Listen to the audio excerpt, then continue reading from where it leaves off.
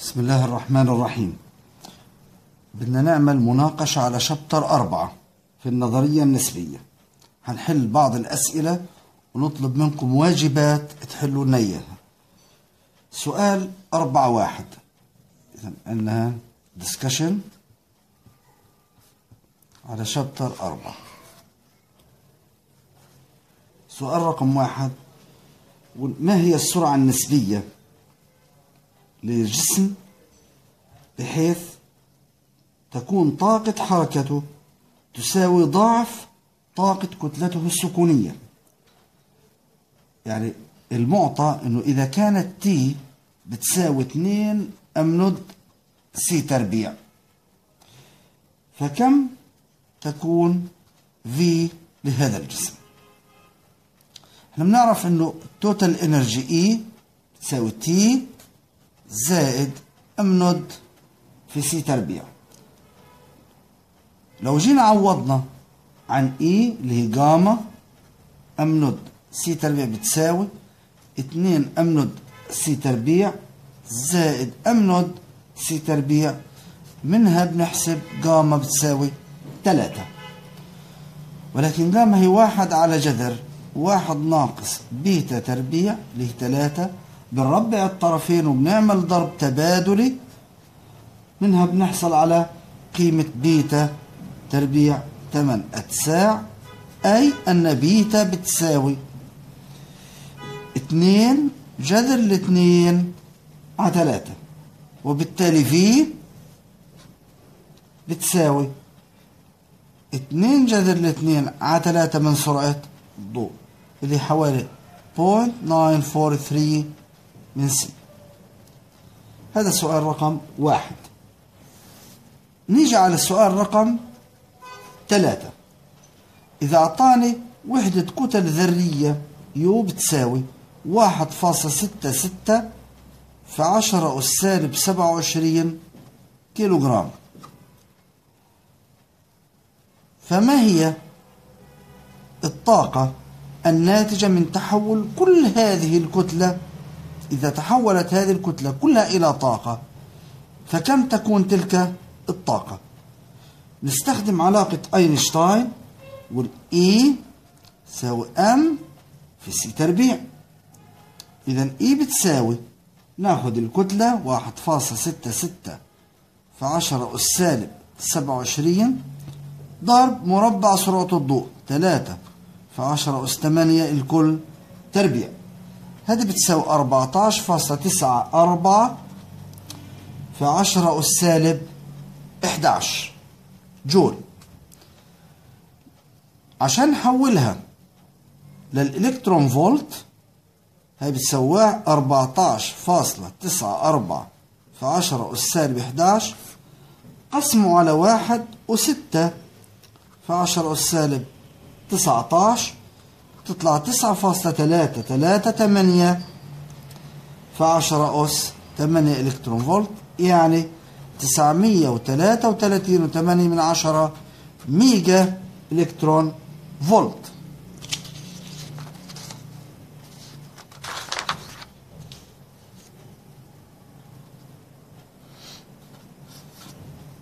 سؤال تسعة.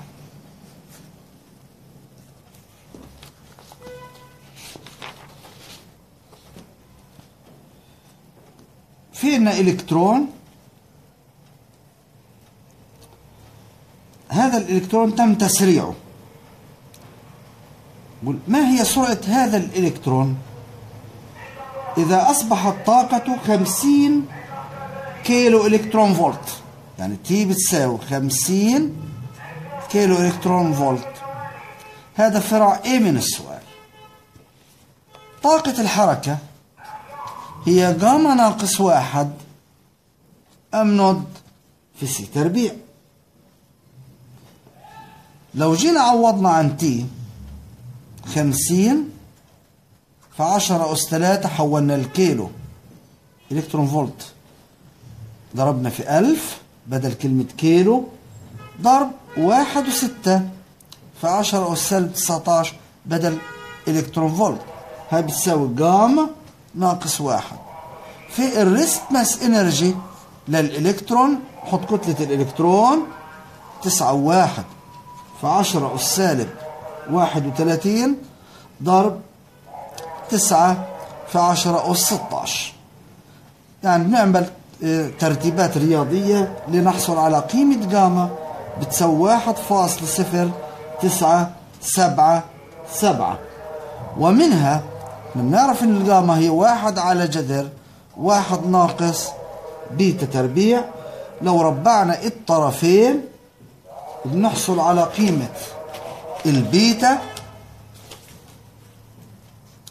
فبتطلع بيتا تربيع بتساوي بونت 83 أي أن بيتا هي بونت 4 1 وبالتالي سرعة هذا الإلكترون هو عبارة عن 41 من سرعة الضوء. إحنا هنطلب منكم إن شاء الله تحلونا الفرع B و C من هذا السؤال.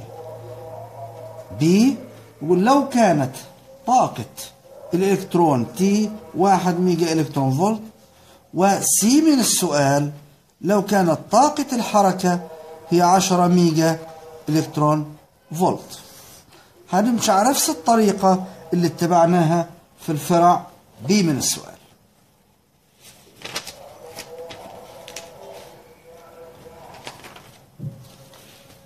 نرجع لسؤال خمسة. خمسة ولو كان في عنا شحنة تمر عموديا على مجال مغناطيسي منتظم. لقيت إذا هذه الشحنة تم تسريعها بواسطة سيكلوترون السيكلوترون بيعمل على مبدأ حركة شحنة في مجال مغناطيسي منتظم فبيحدث دوران لهذه الشحنة. ومن فيزياء 2 أوميجا. هي عبارة عن QB على M إحنا بنحصل عليها بشكل بسيط لو رجعنا لتعريف السرعة الخطية في بتساوي ار في أوميجا وبما أنه الشحنة تدور في مسار دائري في المجال المغناطيسي يعني بتتعرض لقوة جاذبة مركزية وهي عبارة عن القوى المغناطيسية.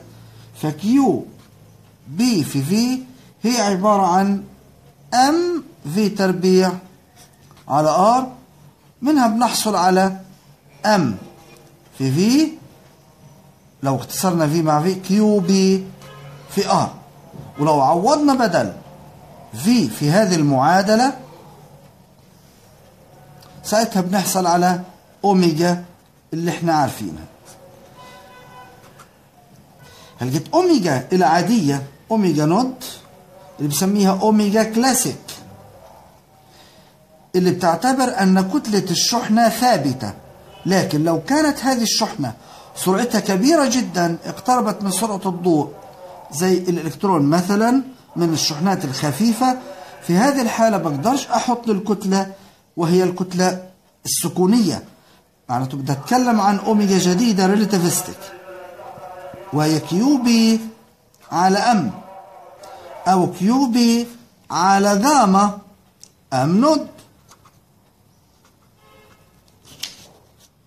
يعني بتساوي omega classic اللي هو omega nought على جاما. هذه العلاقة ما بين أوميجا النسبية وأوميجا الكلاسيكية.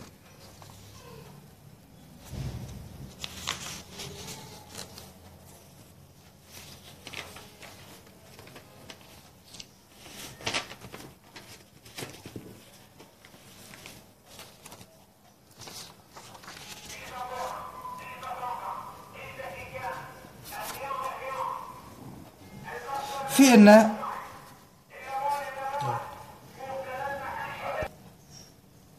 نيجي على سؤال 19 سؤال 19 بيتكلم عن حاجة بنسميها باينر ستارز أو أزواج النجوم. إحنا من بعيد بنشوف آه، هذه النجوم وكأنها نجم واحد لكن هي في حقيقتها عبارة عن زوجين وهدول التنين بيلفوا حوالين بعض حول مركز الكتلة. فالسؤال بيقول لو كان سرعة كل نجم حول مركز الكتلة V هو عبارة عن 6000 كيلومتر لكل ثانية. ويصدر أحد النجمين ضوء بطول موجي 6000 أنجستروم. كم يكون الطول الموجي كما يراه مراقب موجود هذا المراقب في مركز الكتلة. في الحالات الثلاث في حالة النجم الذي يبث هذا الشعاع إذا كان مقتربا أو مبتعدا أو يتحرك عموديا على اتجاه النظر. أخذنا العلاقة. إذا إحنا بدنا نحل فرع من السؤال. بنحسب بيتا.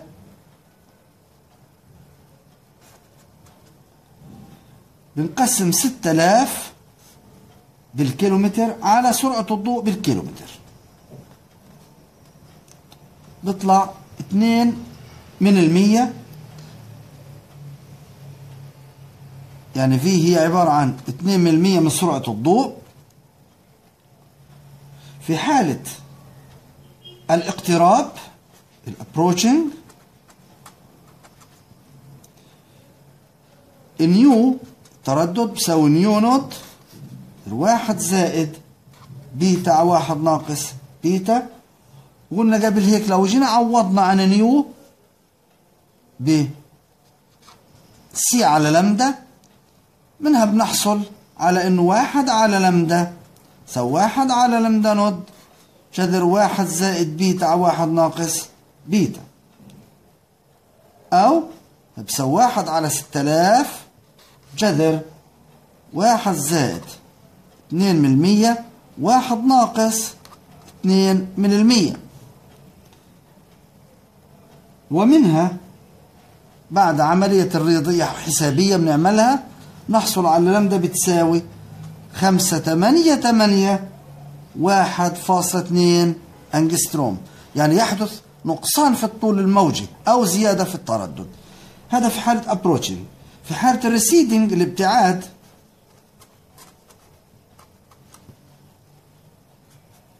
نعكس الإشارات بصير واحد على لمدة هي واحد على lambda nought جذر واحد ناقص بيتا أو واحد زائد بيتا. ولو جينا عوضنا عن قيمة lambda و beta فبنحصل على لامدا بتساوي ستة آلاف مية وواحد وعشرين واتنين من عشرة أنجستروم. في حالة ال transverse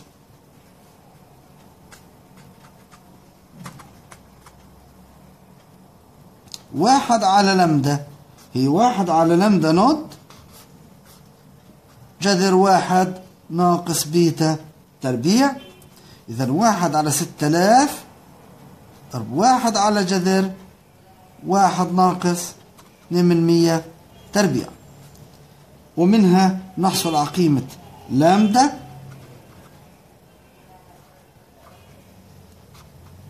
اللي تقريبا خمسة تسعة تسعة تسعة أنجستروم. هذا هو عبارة عن بند A في سؤال 19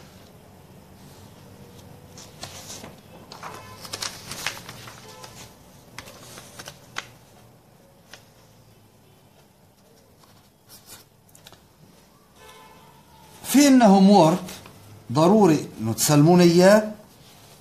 أنا الأسئلة في الكتاب هحاول إن أترجمها اللي مطلوبة لل homework سؤال سبعة. وإذا كانت الكتلة الكلية إذا كانت الطاقة الكلية ال total relativistic energy E بتساوي خمس مرات الكتلة السكونية لجسم.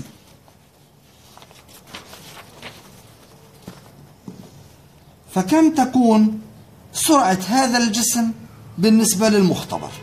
هذا المطلوب الأول. المطلوب الثاني هذا A؟ المطلوب B من السؤال بدنا نجيب كمية التحرك ال momentum كمية تحرك هذا الجسم بدلالة ال rest mass energy اذا بدنا P بدلالة E nought ال rest mass energy و سرعة الضوء. هذا سؤال سبعة. سؤال تسعة. إحنا حلينا فرع A منه. بدنا فرع B. الإلكترون تم تسريعه. بواسطة الطاقة واحد ميجا إلكترون فولت.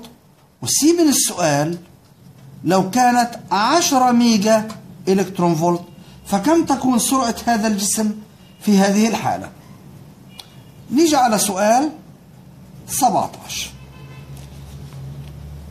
في عندنا تفاعل مشهور اصطدام يحدث بين إلكترون موجب اللي هو البوزيترون مع إلكترون سالب وهو الإلكترون. هدول الاثنين إلهم نفس طاقة الحركة يعني هذا T وهنا T فأنتجوا لي جسمين اتقال اللي هو ال pions pions موجب و pions سالب. خلينا نعتبر هدول وكأنهم طاقة حركتهم قليلة جدا at rest نتيجة تفاعل جسمين خفاف زي الإلكترونات ولكن معهم طاقة حركة. هان تحولت في هذا التفاعل طاقة الحركة إلى كتلة على هيئة جسيم pions. فإذا كانت الكتلة السكونية لل pions ال m nought c تربيع لل pions بتساوي 140 ميجا إلكترون فولت. فكم تكون طاقة الحركة التي تلزم لهذا التفاعل؟ هذا سؤال رقم ثلاثة المطلوب حله. فينا كمان سؤال من خارج الكتاب. بقول ما هي سرعة مراقب التي يجب أن يتحرك بها لكي يظهر له لون أحمر بأنه أخضر؟ يعني في أن شخص أو مراقب نظر إلى لون أحمر. في وضع السكون اللون أحمر وطول الموجي إلى اللون الأحمر ريد 6500 أنجستروم. كم السرعة التي يجب أن يتحرك بها لكي يظهر له هذا اللون بأنه أخضر؟ لامدا جرين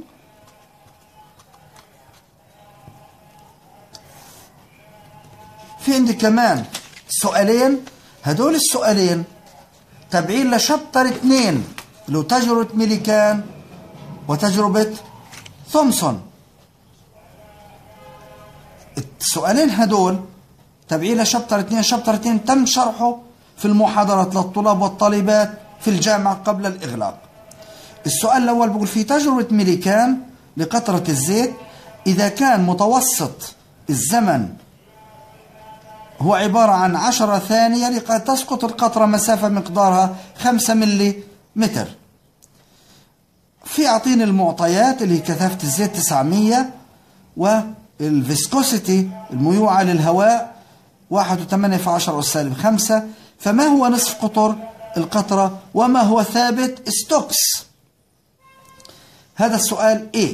B من السؤال على تجربة ثومسون اللي cathode ray tube في عنا مجال مغناطيسي تم استخدامه لحرف أشعة الإلكترونات شدة هذا المجال واحد من المية تسلا على مسافة مقدارها 2 سنتيمتر. فإذا كان بعد الشاشة الفلورسية 20 سنتيمتر عن شاش الشاشة فما هو مقدار الانحراف على الشاشة للإلكترونات؟ يعني الإلكترونات حتنحرف على الشاشة إذا كانت طاقة حركتها 1000 إلكترون فولت. مطلوب تسلموا هدول الأسئلة وحلولها إما على الموديل أو ممكن تبعتوها بطريقة معينة على الخاص.